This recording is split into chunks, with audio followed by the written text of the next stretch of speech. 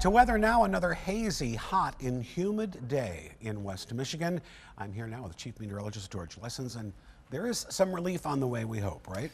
Yes, tomorrow. It's going to be a whole different day. Today was a little bit different than yesterday. Not didn't feel quite as hot today, but you know, you get to a certain threshold, Kurt, Right, I and know. it's like it's just hot. It's hot. It's just hot. Yes, our dew points have dropped. Yesterday at this time, our dew point was 79. That's that green number there. It's dropped to 69.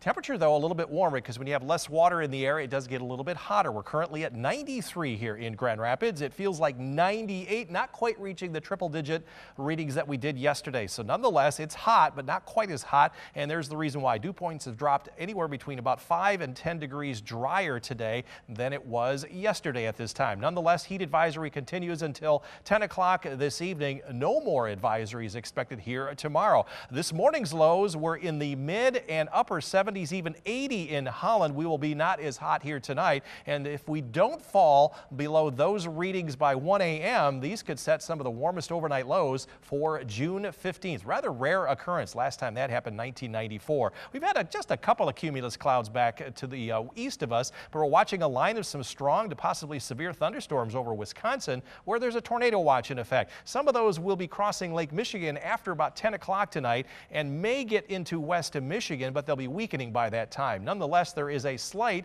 or a category 2 out of 5 risk for the northwestern portion of lower Michigan with a little bit less risk for severe weather off to the south and east. So after those storms pass late tonight, it'll become breezy and less humid with nothing but sunshine tomorrow, 70 in the morning, 84 in the afternoon, and then a much more comfortable weather pattern as we get into the, hol- uh, the Father's Day weekend. There also might be a chance of a shower or a thunderstorm now on Father's Day itself. We'll take a look at the take a look at the risks of severe weather and the timing of those storms for overnight in just a few minutes. Officially our warmest day of the season here in Grand Rapids as we hit the mid 90s, but there is some relief coming our way.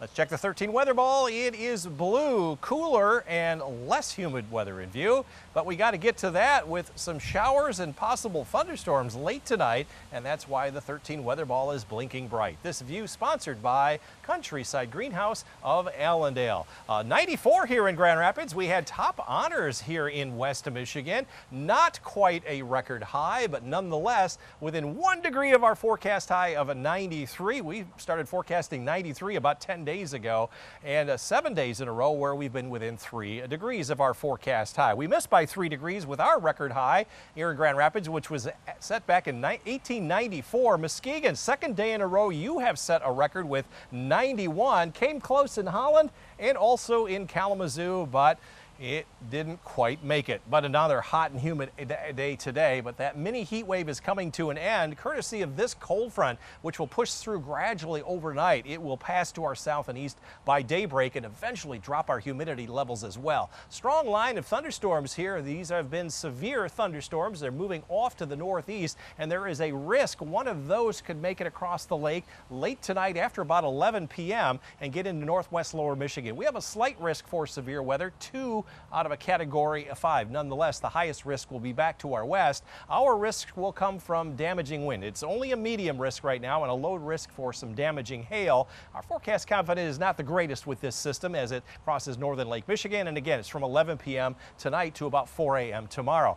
We got sunshine now, but the skies are going to become cloudy between now and 11 o'clock. This is 11 o'clock. Here's that line of showers and storms approaching the West Michigan area. Notice from Fremont northward, right now that's where the heaviest storms are expected. And by 7 a.m., skies will already have cleared in those areas. We got lots of sunshine expected throughout the day tomorrow. The good news is the heat and humidity will be evacuating the region. As we get into Friday, lots of sunshine as well. Very comfortable day, up close to average highs for this time of year. And we'll do that again during the day on Saturday. Plenty of sunshine until some high clouds come in late in the day.